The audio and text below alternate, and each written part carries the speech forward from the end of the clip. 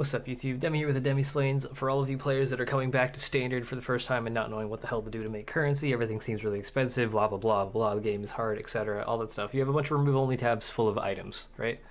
It's gonna take you some time to sort all of that stuff out, but you're going to find a lot of things that are worth a lot of currency. List all that stuff for sale, you'll have a bunch of money. Um, that being said, ways to make currency in standard. There's a ton of stuff right now. I actually made a little bit of a list that we can go over. Um, but a lot of stuff that people don't really understand real quick. So you can sell things directly to other players without having to list it. If it's anything on this list, essences, div cards, maps, league stones, incursion stuff, delve stuff, scarab stuff, you can sell that to someone immediately on PB Trade and on the main website, pathofexile.com slash trade. It's the same thing. You just say you want or chaos or exalt, whichever. And if I wanted to look for like delve stuff, I would just click delve and be like, all right, I got a bunch of, I don't know, gilded fossils. I want to sell those. Click that Bam, somebody's paying 5C per, contact them, sell them as many as you got. Do it again, I don't know, what else is there? Alchemical resonators, for example, potent alchemicals. Nobody's buying those because alchemicals are shit. So if we look at chaotic resonators, powerful chaotic resonators, bam, look, oh, it's me, people are paying 2C per. Dump them all on me, you know, stuff like that. Uh, it's the same for like everything. Jagged fossils, corroded, look, it's me, sorry, I buy a lot of fossils. but I notice a lot of people listing their fossils. They just like price check it and they're like, oh, this is worth two chaos. So they list it for one chaos instead of just going to somebody that's paying like three chaos and getting the profit immediately. It's just it's just dumb. People don't recognize that. It's the same with scarabs. If you have like scarabs from lastly, you can dump them to people. You know, etc. So on and so forth. Uh, other stuff, annulment orbs in standard are worth a shitload. 33 to 33 plus chaos at the moment. Divine orbs worth a shitload. How do you farm divines? For those that don't know, when you vendor a six link, any six link, including tabulas, so you can set up to buy tabulas. People list them for like 20c because they're dumb. Buy the tabula, vendor it, six link. You can sell the divine immediately for 30 something chaos. Also, there's a ton of divination cards that you can farm that give six links, right? So you can farm any of these, and they all just give six links, and they're all fairly common. Like I would recommend the lower number sets. So like Holy Chainmail is pretty common, Emperor Purity is pretty common, uh, Dapper Prodigy is pretty common, Chains That Bind's pretty common, but it's an 11 card set. You can even farm like the Tabula Div card, Humility. It's a 9 card set in channels, Blood Aqueducts, whatever, all of that good stuff. Like any of these cards are good money to farm. And you can just vendor the 6 link, or if it's like a, this one, you would probably actually craft, but like these bad bases, Chains That Bind, Emperor Purity, Dapper Prodigy, uh, Porcupine as well. This one's pretty easy to farm. I think it's in like gardens maps. If you just check the wiki for any of these, it'll tell you where to get them.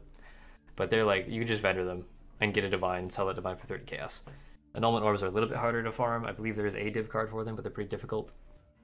Um, after that, there's a bunch of new div cards that were added this league that are worth quite a bit in standard. So if you go to poe.ninja, you select standard and you select div cards.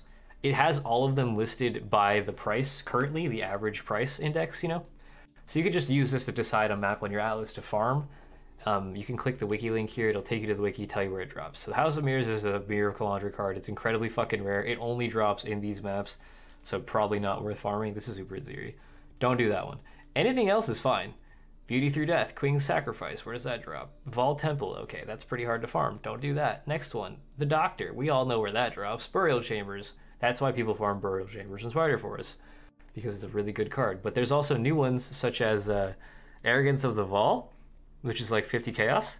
That's the one that gives you a double corrupted unique item, and it drops in these two places. It's 50 chaos for a div card. It's not that rare. I farmed like 20 maps, and I think I got three or four of them. They're pretty common. It's good money. Uh, the next one is Alone in the Darkness, which I don't. I'm pretty sure I've gotten one of these. It doesn't say where it drops on the wiki, but it gives you the delve item. Yeah, I have one. Alone in the Darkness. It's like 80 to 90 chaos. It gives you a 1 in 5 for a delve item. And um, the wiki doesn't have where it drops, but I'm pretty sure I got it from a depths. I think I killed a lich and got it. So I'm not 100% sure where that drops, but either way, it's a good card to farm if you can figure out where it drops. Uh, the next one is the Landing. It's like 40, 50 chaos or so, and it gives you the uh, T15 beachhead map. It drops in Shore and Strand. Both of those are really good maps, especially Shore. Shore is an exceptionally good map to farm. It's like huge density, huge like layout that's fairly easy to path through. There's no dead ends or anything. So that would be a good one to farm. It's a five card set. They're not going to be stupidly rare. So you can get those there. Um, other stuff that's pretty funny is the fact that veiled items, no matter what the level, no matter what the base, just any basic veiled item will sell for 5 to 10 chaos right now in standard because there's so many people who don't have any veiled mods because they didn't play last league. So they're just trying to fill out their workbench crafts. And to do that they need to get veiled items. Well how do you get veiled items? You farm syndicate or you buy them from other people. And like there's a billion of these listed and people are actually buying buying them. It's really funny. If you list it for like 5 chaos per veiled item you will make money. Easy money. Yeah you'll lose them but if you have if you played last league you already have most of the stuff unlocked anyways. So like make some money off of it and the prices will drop down to 1C eventually, then you can get all of them again. And the last thing I wanted to show was these. So for the same reason everybody wants betrayal stuff in standard, the prophecy for a master seeks help find Jun is like 2x. Like it's ridiculous how expensive these are. And people are paying these prices to get Juns so they can get white sockets and uh, quality on their weapons and armor for their mirror items and their high end stuff. I'm doing the same thing. I'm paying like 10 to 20x for the benches right now, but it's hard to like sell the benches if people don't know who you are. Um, they're very very unlikely to hand you an original mirror item to do the thing for them. So I've been having my mods do them, and like a few other high end standard players are helping me with it.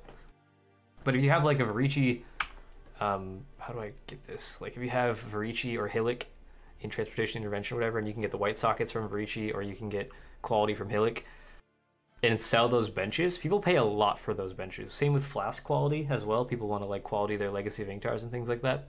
You could sell those benches for a dickload.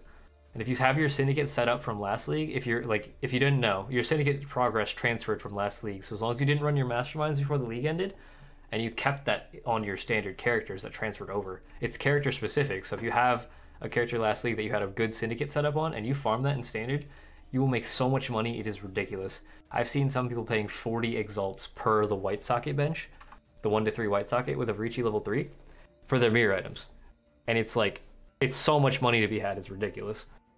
But yeah, so this prophecy, you just spam Navali and you get these prophecies and you sell them for a little bit less than 2x. You'll probably sell them instantly because people want to find their syndicates and they're willing to pay that cost. If they already have their syndicate set up, that prophecy is really good.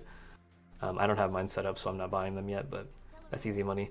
What else is it that's easy money and standard? Your legacy maps will still give you map completion. They will still drop maps. So yeah, you're gonna have a map tab full of legacy maps. I have a bunch of them. Um, where are they? These are legacy. I don't know. They, they're just everywhere. I have like four map tabs, but that's okay. If I run these legacy maps, I'll include a clip right here. But you can run a legacy T15, and you will get like 110% completion. And then if you run a legacy rare corrupted guardian, you will get 150% completion because they reward standard players for like running legacy maps so we don't get punished every time the atlas resets. They let us keep the unique maps this time. You had i think 20 unique maps on the atlas. Assuming you had them completed last league you'll still have them completed this league. And then you just run those two maps. You'll be at 154-ish completion and then all you have to do after that is run the Vaal Temple map to get your last one. And only after that all you'll be missing are one of each of the guardians which you can get by Vaaling your old elder t16 maps this is a lot of information, I know, but I evolved my uh, my old Elder Bazaar maps, right? Because I'm still running Bazaar. These are just the ones from last league. I Vaal these. If you get a plus one on that Vaal orb, it turns into a current version of a Guardian. So you get a rare Corrupted Guardian, and then you can just run that and get full completion out of it. Like it's it's all there. So you should be able to run three maps, T15 Rare Corrupted, T16 Rare Corrupted, and a Vaal Temple. You'll have 150 5% completion, and then you run one of each of the new Guardians when you Vaal your maps, or you just farm your new T15s until one drops, or new T16s until one drops. Old T16s, sorry. And you'll be good to go. You'll be uh, fully geared out and Standard. You will probably have a lot of characters with open respecs. You know, you can do whatever you want with them, find a new build guide, make a new build. You're gonna have currency. You're gonna have characters that are leveled up. You're gonna be able to find public parties of people mapping. Like you just just gotta look a little bit if you're missing anything, there's always somebody that is willing to help you. You can join my Discord server. We got a bunch of people that play standard, but there's always like, you know, people mapping together. Um, yeah, here's a guy buying veiled boots for 5C. Like, it's pretty easy monies if you want to make money in standard right now. There's so many demands. Like, the method for making money in okay, so I, I should have said this at the beginning of the video, but for in league, what you do to make a lot of money is you become an endgame player really fast, get to endgame, and then you sell stuff to the people behind you, the new players. In standard, it's the exact opposite. If you're a new player, you then feed things to the lazy rich players like myself who need them for crafting, like fossils and essences and div cards and like Juns, veiled mods, and divines and annuls, all of that stuff that we don't want to farm. If you farm it, you make a shitload of money, and then once you get to an end game point, you can become the lazy player, like I have done over the past couple years. I'm the lazy player now. I used to be the person that farmed. I guess I do a little bit of both, but hopefully that helps. Hopefully you guys learned something. Hopefully you're having fun playing standard just as much as I am right now. I'm having a lot of fun updating my mirror items. It's kind of funny. I've 28 quality most of my high-end ES stuff, which is great. Um, I think this is one of my highest ES chests now, 1023. This one I think will go up to 1070-ish. It's double quality, triple T1 legacy prefixes. I've been white socketing things as well. Um, but yeah, priority is the quant gear, obviously. I want to get three whites on the quant gear, and then I want to start doing um, RF helmet and then shields. This is okay. So in order of most mirrored items, I believe it's my helmet, and then like my rings, which don't need sockets, and then it's the RF helmet, which I only need one white on because the RF helm setups are either four blue or three blue, one green. So one white on that fulfills both of those. I just replace the green with a white, and it's fine. This shield is my most mirrored ES piece. It's my low life RF shield. Um, so that would be good to get white sockets on, and then like maybe I'll do like helmets or weapons. Maybe I might do chimeric fang.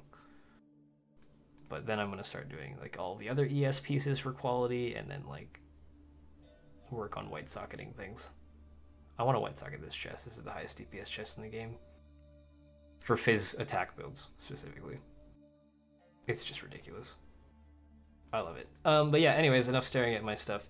Uh, hopefully you guys make some currency with these tips. Let me know if you have any other questions or you have any other ideas that would help other people making money that I didn't mention. Leave them in the comments and join our Discord. I think I said that already. But uh, yeah, I'll see you on stream or on Twitter, maybe. I don't know. All the links for everything are in the description of this video. And thanks for watching. That'll be out.